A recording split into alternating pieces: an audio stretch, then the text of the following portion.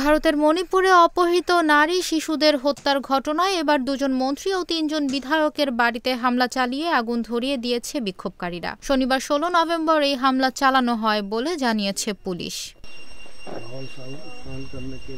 ভারতীয় সংবাদ মাধ্যম এনডিটিভি বলছে, শনিবার ইম্ফলের লামফেল, সানা কেইথেল এলাকায় স্বাস্থ্য ও পরিবার কল্যাণ মন্ত্রী সাপাম রঞ্জনের বাড়িতে বিক্ষোভকারীরা হামলা চালায়। সাগলবন্দ এলাকায় বিজেপি বিধায়ক আর কে ইমোর বাড়ির সামনে বিক্ষুব্ধ জনতা জড়ো হয়ে স্লোগান দেয়।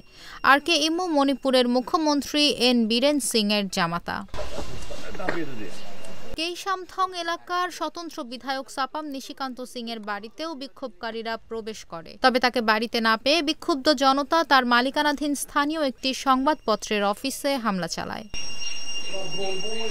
এসব ঘটনার পর আইন শৃঙ্খলা রক্ষায় অনির্দিষ্টকালের জন্য একশো চুয়াল্লিশ ধারা জারি করেছে ইম্ফল পশ্চিম জেলার প্রশাসন। একই সঙ্গে ইম্ফল পশ্চিম, ইম্ফল পূর্ব, বিষ্ণুপুর, থৌবাল, কাকচিং, কামপোকপি ও চূড়াচাঁদপুর জেলায় দুই দিনের জন্য ইন্টারনেট ও মোবাইল ডেটা সেবা বন্ধ করে দেওয়া হয়েছে। এর আগে শুক্রবার রাতে মণিপুর আসাম সীমান্তে জিরি ও বারাক নদীর সংযোগস্থল থেকে তিনটি মরদেহ উদ্ধার করা হয়, যা নিখোঁজ ছয় জনের মধ্যে তিন জনের বলে ধারণা করা হচ্ছে। সূত্রের বরাতে জানা গেছে, নিহতদের মধ্যে দুই শিশু ও একজন নারী রয়েছেন। এরপর শনিবার দুপুরে আরও তিনটি মরদেহ উদ্ধার করা হয়। মোট মৃতের সংখ্যা দাঁড়িয়েছে ছয় জনে। তবে পরের তিনজনের পরিচয় এখনও শনাক্ত করা হয়নি।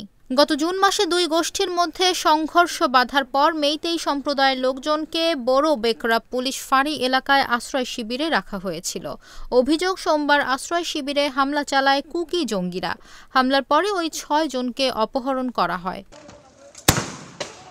কুকিরা হামলা চালানোর পরই পরিস্থিতি নিয়ন্ত্রণে আনতে পাল্টা অভিযান চালায় পুলিশ। পুলিশের গুলিতে দশজন সশস্ত্র জঙ্গি মারা যায়।